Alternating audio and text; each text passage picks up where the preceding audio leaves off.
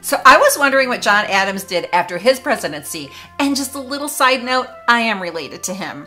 After John Adams' presidency, he lived on his family farm in Quincy, Mass for a good 26 years and he loved it. He spent most of his time writing letters, writing commentary, writing books. His son Charles had passed away and so his daughter-in-law and children moved in with them. For five years, John Quincy's son lived with them. Another son, Tom's, Thomas Adams, his entire family lived nearby.